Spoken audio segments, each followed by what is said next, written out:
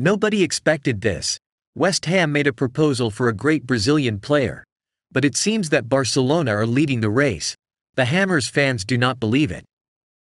According to UOL, West Ham made a bid of £12.3 million for the Brazilian striker in the January transfer window, but he is valued at around £35 million.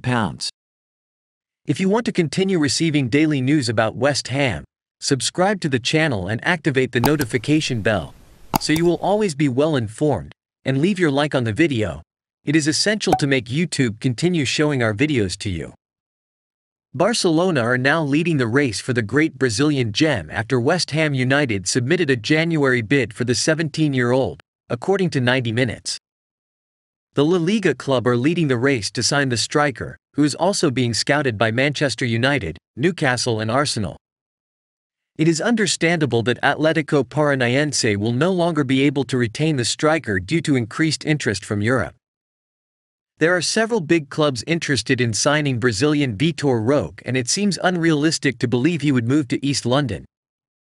Brazil beat Uruguay in a decisive confrontation for the final hexagonal and won the South American Sub-20 Championship undefeated. Vitor Roque was the highlight of the team and tormented the opposing defense a lot, opening the final hexagonal with two goals against Ecuador and one against Venezuela. With six goals, he was one of the top scorers in the competition.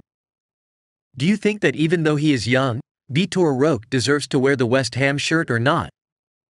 Comment your opinion there, it's super important, and don't forget to leave your like, subscribe to the channel so you don't miss any news.